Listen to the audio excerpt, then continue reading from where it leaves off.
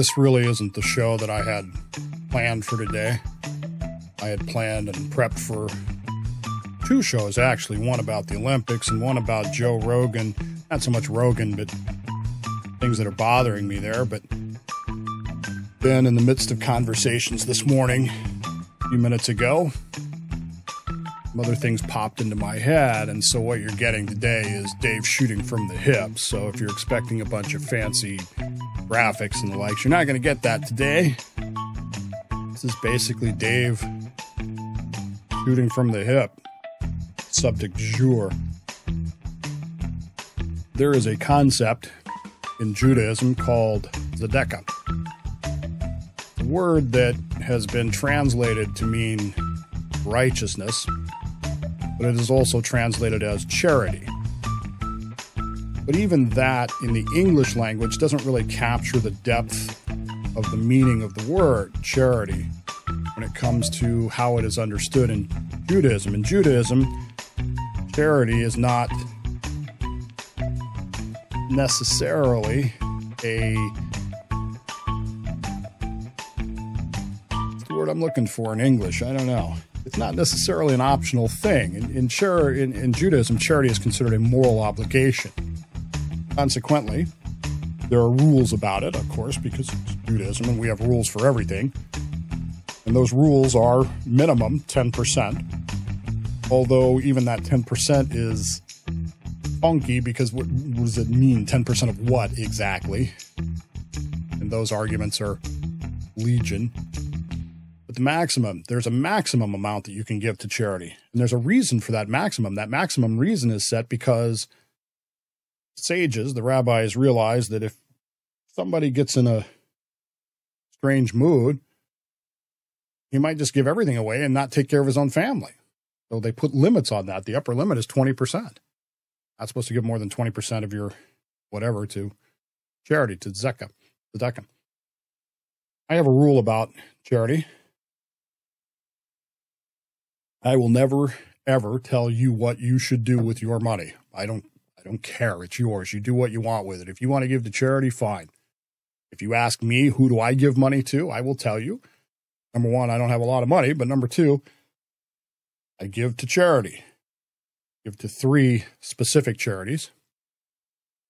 I think it's any secret. I, I support Chabad vehemently, something that I truly believe in and something that I participate in, and it's something that I believe in supporting. But I give that money directly to Chabad.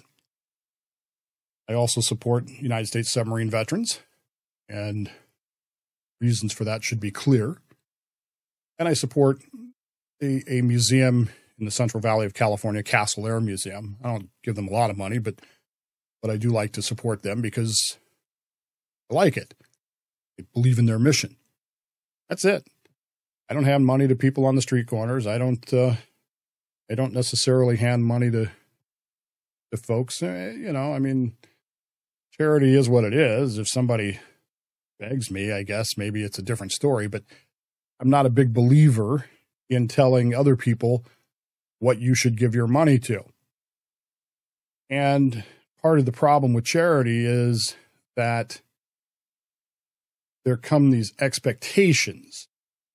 And charity, in in because of those expectations, charity becomes gigantic business. I don't know if you knew that or not charity is a huge business. There are people in this world, name and names, not pointing any fingers, who make their bones, they, they make their living raising money for charities. Raising money costs money. Knew that or not.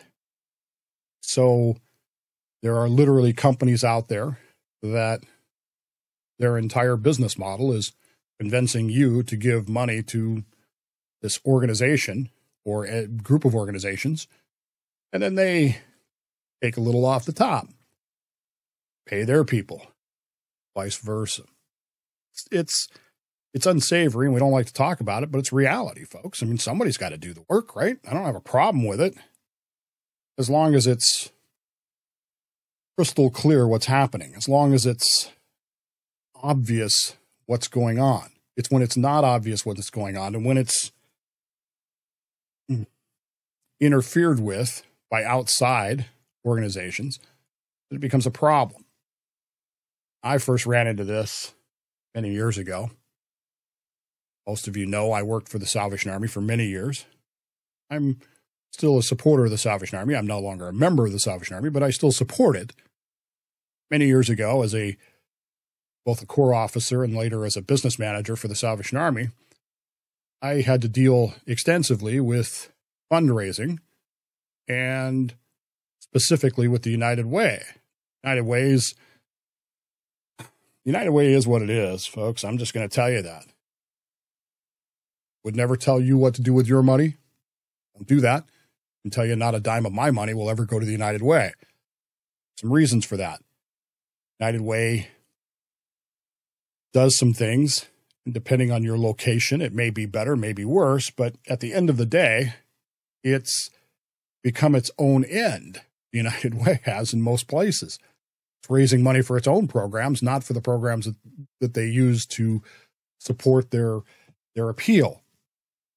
That aside, it was a it was an experience that I didn't like and it was an experience that caused me to look at fundraising and particularly my charitable donations in a much different way.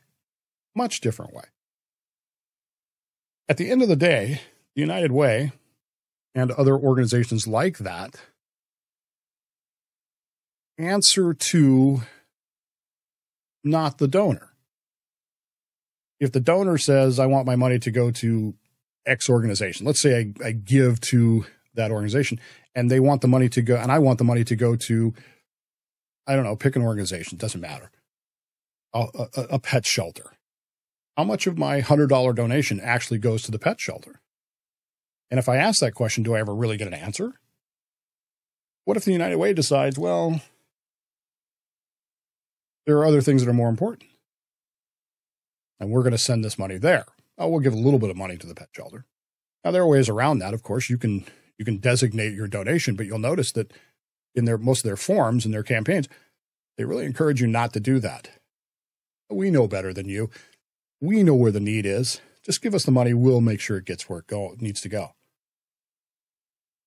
And so it was with some interest that I watched what happened with the GoFundMe account, which is all the rage this morning on talk radio. It doesn't matter where you're tuning in from the East Coast to the West Coast, the GoFundMe fiasco is the topic du jour. It's topic A of the day.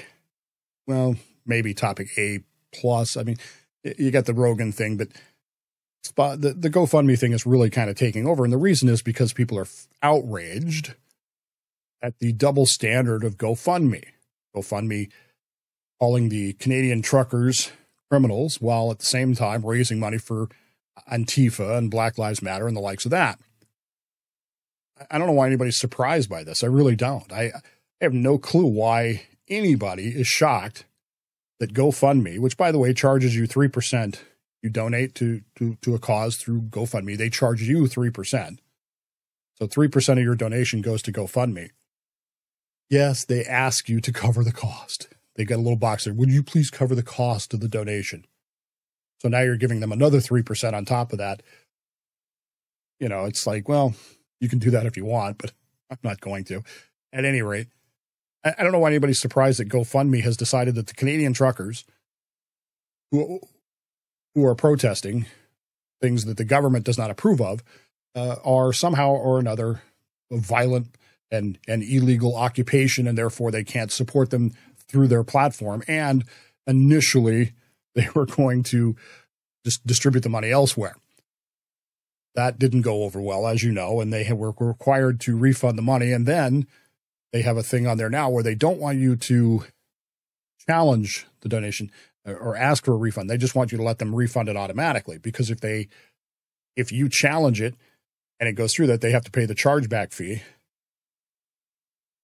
and the chargeback fees on thousands upon thousands of donations will actually end up costing them money, and that's what they don't want. So they'd rather rather not do it that way, which, you know, again, it's a business decision.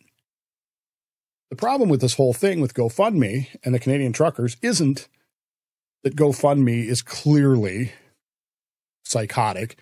It's not that they're clearly, you know, flip flopping between opinions that they have a double standard, that they're fine with, with, with Black Lives Matter and Antifa and other violent organizations and not okay with the truckers. It's not that at all.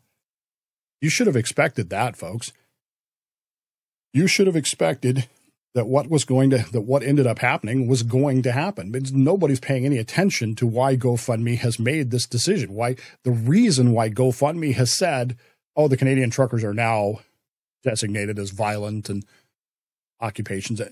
It's like we we read this sentence and we just pff, go right on by it. And what is that reason? Because quote after consultation of relevant facts with law enforcement and government officials, unquote GoFundMe decided came to this this epiphany that the Canadian truckers were a problem. So what you've got here is government in the form of police and other officials going to the GoFundMe people and saying, we don't like this. And instead of saying, hey, we're not in the business of deciding what you like or don't like, we don't care. GoFundMe, which is a business which pays quote unquote corporate taxes, especially, uh, you know, they're based in California. So you're going to have both, both federal and state corporate tax issues here. You're going to have an issue here with this whole idea that government is just going to stick its finger in here and go, we don't like that. You should stop. And rather than, uh, like I said, telling the government to pack sand, no doubt part of that conversation was if you want to continue to do business, if you don't want us looking into your business models, if you don't want us questioning things, perhaps uh, you'll find a way to not do this anymore. And this is this is the insidiousness of this, folks. This is the scary part of this whole thing. It, it isn't that GoFundMe has a double standard. Of course, GoFundMe has a double standard what organization doesn't? Every organization that's a conduit organization that collects money and gives it up has a double standard. Every single one of them. I don't care if you're talking about GoFundMe, United Way, whatever. At the end of the day, how many of them have governments walking in their front door going, we don't like you giving, we don't like you collecting money for this organization, for this group, for this purpose, for this cause, and you will stop doing it and they instantaneously throw up their hands and go, Yep, you're right. We're not doing it. We're not getting involved. We're not going to have any part of this. And instead of leaning on the governments, instead of getting mad at the governments, instead of calling up the police departments and saying, What the hell are you doing? Going to GoFundMe and saying, Here's some relevant facts we want you to consider. We're all mad at GoFundMe, which isn't doing anything differently than any other company in the world when government walks through the front door and says, We're in charge here. And yet, we continue to vote for these people. We continue to elect them over and over again because, you know, they know what's best.